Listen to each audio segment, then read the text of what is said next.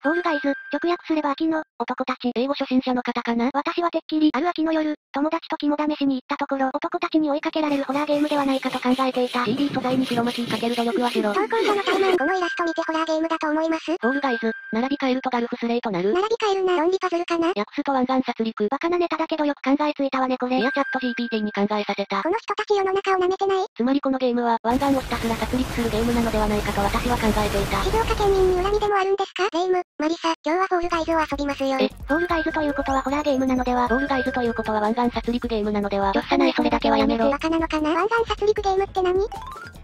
ということで今回は初日プレイをお届けします。1戦目のステージは Whirlygig。レイムさんが PC の設定言語を英語にしたせいで日本語のステージ名がわかりません。実況において致命的なんだが、直し方がわからなかった。純粋に情弱。おそらく渦巻きコンサートみたいな名前なんでしょう。なお確信はない。調べろ。そして私がプレイするのは無料化されてからもうすぐ2年経つ人気ゲーム。ビッグウェーブに完全に乗り遅れている。プレイヤーのインフレが懸念される中、レイム選手が挑むのはなんと初日プレイ。初見プレイの録画をミスって削除したこのメンタルを立て直せるかが見どころです。そこは見どころじゃねえよ。実況は私ヨウム。解説は Fall Guys で鈍足の神と呼ばれたマリサさんでお届けします。ドンソクはこのゲームで致命的だろ。スタート。さあ始まりました1戦目。一斉に各選手スタートを切りました。マリサさん、この1戦目、レイム選手にはどのようなプレイが求められるのでしょうか？そうですね。私はこのゲームは初見なので何もわからないというのが正直な感想でしょうか。正直すぎるだろ。なんで解説役にした？おっとレイムさんの空中回転ひねり技が決まりましたが、悪質なタックルにより減速してしまいました。体操なのかアメフトなのかはっきりしてもらえますこの選手はこの YouTube の中でさらされ炎上することとなるのではないでしょうか。恨み持ちすぎですよね。浮き輪をつけていることから考えて人類の敵である陽気であることは間違いありません。この人たちいきなりテンションが高くなってて草。これは本当にひどい。このプレイヤーは他人に順番を譲ろうという意思が全く見えない。そういうゲームだよ。これはバスの中が全員おばあちゃんになっても優先席に堂々と座るタイプのプレイヤーだ明らかにリアルまで波及させるものではないだろ。さあここで独走状態となったレイム選手。初日プレイであることを感じさせない初とかでゴールはもう目前だちなみにたまたまですね。トップのプレイヤースキルでなんと1ゴールだちなみにその後はフルーツを数えるゲームでなぜか脱落しました。運はいいのにおつむがよわよわ。煽り性能が高すぎる。さあ2戦目のステージはトラックアタック。常日頃からトラックに喧嘩を売るレイムさんには朝飯前のステージです。こんなステージ紹介は嫌だ。そっちのトラックじゃねえよ。トラックとアタックで韻を踏んだと思っているそこの運営さんに言いたい。私はこのタイトルを見た時爆笑して鼻から血を吹き出しました。ただの花粉症じゃねえか。しかしご安心ください。このフォールガイズの会場においては、杉を積極的に植林しています。それダメなやつだここにいるガイズたちは全員杉花粉の塊を鼻の穴に詰めすぎて鼻が見えなくなったそうです。地獄かな？ここで参加者紹介のミニコーナーを始めます。今回妖夢やりたい放題だな。まずこのワニさん、100戦後に脱落するワニです。フォールガイズはそんな長期戦じゃねえよ。次にこの人間の食料さん、どういうカテゴリーだよ。ファストフードです。いやそうだけども。最近著作権が切れたプーさん、でも一応モザイクをかけておきます。扱いが犯罪者のそれ。トゲトゲブレスレットをつけたこのガイズ、スキンが赤いのは敵の血で染まったためだそうです。 CERO仕事しろ。怒られるぞ。大丈夫初日とはいえこのコースノーミスで決めるわよ。おっとレイムさん開幕ノーミス宣言。これはハッタリなのか？それともフラグなのか成功する選択肢はねえのか私に。おそらく上ルートが最も速いコースとなりますから、いかに焦らず上コースに乗り続けられるかが勝敗を分けそうです。初めてのまともな解説。ここでレイム選手人混みにも焦らずしっかり壁を掴んで復帰。しかし前の選手に押しのけられ減速してしまいます。これは本当にひどい。このプレイヤーは他人に順番を譲ろうという意思が全く見えない。さあ、ここでだいぶ機能を知らないレイム選手。若干の遅れが見えましたがしっかりと精密な方向操作で上ルートを維持しています。実はレイム選手、この加速ゲートを調べるためにソ連から派遣されたスパイなんだとか。試合終了後には逮捕が確定しています。実況やめて情報やみなれよこいつら。おー。この雄たけびは爆速でゴールした喜びか、はたまた逮捕される絶望感をあらわにしているのか。何の実況だよこれ。正解した視聴者さんには抽選で1万円の図書券をプレゼント。レイムの感情でクイズを始めないで。ちなみにこの試合も2試合目でバカみたいな死に方したのでカットします。レイムちゃんジャンプすると上に移動できるって知ってた？こういう時に煽るスピードだけ抜群。私も考えてはいるのよ。実況者たるもの、初日に優勝したらかっこいいと考えるのではないのか。おー。そして初日プレイでも優勝するのが真の実況者ではないのか。おー。たかが初見と侮った奴らに見せてやろうぜ。オプシオムで鍛えた精密なコントロールってやつをな。ごめん、一気にうさんくさくなった。操作完全に別芸ですよね。あれここは盛り上がる場面じゃないの？しかし私はアンチには負けない。絶対に勝つぞー。1戦目のステージはロールアウトだぜ。大ありでした。定価な RTA。どんな RTA だよ。終わりだよこのゲーム。私が必死にプレイする中、どうせ視聴者はこんな悠々とした態度でこの動画を見てんだろう途端に被害妄想が激しいなこいつ。これからレイムさんを被害妄想子ちゃんという名前で呼びましょうかね。家庭裁判所の裁判費用はサナエが出すのでいいんだよね。レイムさんはそれでいいんですか？実況メンバーが解明されている今のうちに私たちはクリアを目指すぜ。何も関係ないだろ。てかオレンジジュースの人こけたら中身が吹き出して大惨事になりますよね。あーと、イチゴやブドウなどのフルーツをスライムにぶち込んでるあたり運営には食べ物への感謝がないよな。もしこれ本物だとしたらそのデカさからギネスに乗りますよ。さらっと運営に喧嘩を売らないで。レイムとんでもなくごじってるぞ。ってなんかもう4人も脱落してて草。正直フルーツの射出角度とか気にしてる暇ないのでなんとかなると思いましょう。なんとかなると思うしせそれはまさに。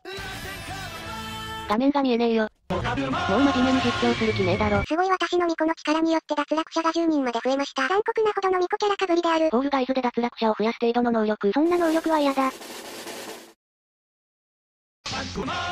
もう今日はそういう日なんですねわかります。めちゃめちゃカメラ目線で草。スマイル0円言われてみるとドナルドに見えなくもない。見えねえよ。そうして満足したパックマンはスライムの奥地へと向かった。スライムのお口は脱落してるじゃねえか。この後普通にクリアしたのでカット。苦手ステージの話はどこ行ったの？この世の全てと一緒に置いてきた。海賊王かな？ちなみにレイムさんのポエムも一緒に置いてきました。探せ。さらせ。さらすな。黒歴史と分かった瞬間食いつくね君たち。黒歴史といえば、レイムさんがデビルマンのクソマットをアップした結果登録者数が一人減った話でもします？人の心とかないんかそこに愛はあるんか？ふざけてる間に次ステージ始まるよ。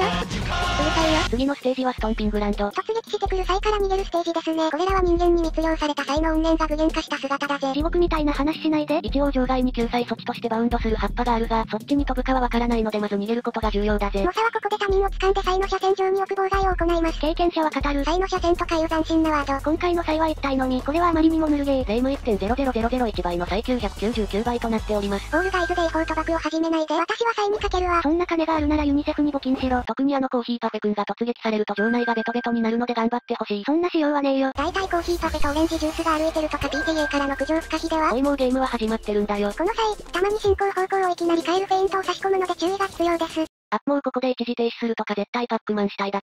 今回一にも増してクソ動画だな。そのレイムさんレベル不足と金欠で初期スキンなのでそりゃ被るんですよね。金欠は余計だろ金欠は。で今のフェイントもなかなか危なかったですね。多分このステージは反対側の壁に沿って動きを見るのがきつな気がする。なお何も勉強してないので詳しいことはわからない。レイムさんってもしかしてあれですか？学校の期末テストであ俺勉強してないわっていうタイプの人ですか？今どこかの何かに刺さる音がしたぜ。ふわふわしてんな現在恵方巻きと完全に動きがシンクロしております。甘酸っぱい匂いがするぜ。酢飯じゃん正直飯テロこのデフォルメ度でああ、こっち来るんかいアップね。かぶせるな。あ、ここは中央に向かった方がいいはず。ナイス判断。です飯くんピンチじゃんえ、どこ行って。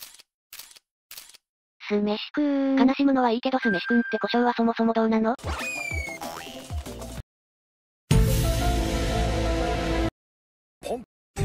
それにしか見えなくなってきた。いつか誰かに怒られそうなのをネタにするのやめて。フォールガイズの分解3が見えたところで試合は残り30秒を切りました。酢飯くんが無事でよかった。だから酢飯くん言うなし。まあ結局ね、今回災害1頭しかいないんですよ。3体とかなったら別ですけど、そもそも難易度がマリオの11くらい簡単。こんなステージでね、いくら初心者といえどもね、脱落するということ自体がそもそも不可能なのでありまして、ありまして、ありまして、ありまして、ありまして。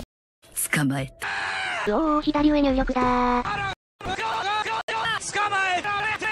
唐突の梅原心臓に悪いからやめて。え、これ掴んだ人めっちゃいい位置取りでしたけどこれどうなりますおっとここでサイがほぼ方向を変えずに突進。あ、食落ち3個まで草。この動画を見ている皆さんは妨害なんてせず協力勝利を狙いましょうね。領域的な動画。もちろん2戦目もしっかりクリアです。パックマンくん生き残ってて草。使い回しはやめてくださいね。使い回し読み使い回し注意。高度な心理戦が行われていたのやもしれぬ。さて3点目のステー。ジは初見ステージですね。だからといって倦怠感溢れる BGM を流すのはやめて。逆に緊張感が抜けていいかもしれない。頼むから視聴者側のことも考えてくれ。やかましいわ。説明文を読む限り写真右下の黄色い玉が爆弾で、とりあえず水の中に落ちなければ勝ちみたいです。英語担当の用務がいなかったらどうなってたことやら。ちなみに私は失態と5担当です。フォールガイズに失態と5は出てこねえよエ。ピックゲームズさん、失態と5の実装をお待ちしてます。エンジニアを過労死させることが趣味なの過労死させることが趣味って何？ブラック起用かなでレイムも他プレイヤーも一直線に爆弾を取りに行ってくさ。抑えられなかった給力そんなことしてたら下の水に入力しますよ。やかましいわ。このタコの吸盤が地面を叩くと上に打ち上げられるっぽいな。説明文に書かれてないというわな。爆弾は起爆するまでに時間があるのでギリギリで離すとエイムが安定しそうですね。なんでこういうのだけ真面目に考えるかな。オプシオムで鍛えたエイムの使いどころを察知したので、あ、なんか勝った。ブラブラしてたらなんか試合終わってくさ。他プレイヤーに何があったんだってばよ。私たち今の試合でタコの吸盤と爆弾のことしかゲームに触れてない話していい？内容の薄さにガイズも愕然こ。れが本当のアポールガイズ。これが本当のアポールガ残り人数は11人だったのでファイナル戦の前に1試合挟まれたぜバ。カな死に方はしないようお願い申し上げます。金額次第ですかね炎。上するからやめなさい。まあここは説明不要でしょう。スライムに落ちたら即脱落で、回転する扇風機の風に当たらないように走り続けるステージですね。選ばれし8人のガイズと鶏とパックマンと酢飯が集う姿は感動そのものだぜ。感動してねえだろ。最初のはそのまま走り抜ける周期でしたがこれはジャンプですかね。エッペイムさん。エッペイムさん、あなた2試合目で周期ミスって爆死したのご存知？ご存知ですね。改善の意欲が見られませんが、お客様のご要望は真摯に受け止め、検討に検討を重ねて検討を加速させ、さらに検討を重ねることで検討を発射したいと思います。何言ってんだこいつ。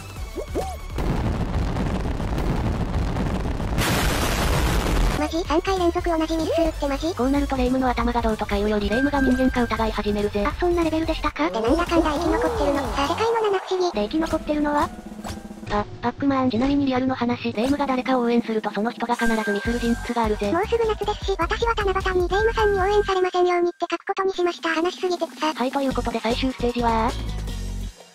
あ、私六角タイルのステージ1回も勝ったことないです。笑ってる場合か？そうですレイムさん、ここまで来たからには初日プレイでビクロイを決めてほしいところですよ。ほな、本気出しますか？最初から出しててくれ。散っていったパックマンの思いを背負い、今レイム選手が立つのはファイナルの晴れ舞台。さあここはレイム選手の見せ場になるのか、はたまた墓場になるのか、急にガチ実況っぽくなりましたね。なんでサナエはゆっくり実況に来ちゃったんだか。本勝ち目がないので足場を削りまくって運ゲするわ。嫌な予感しかしない。え、待ってなんか進めないんだけど。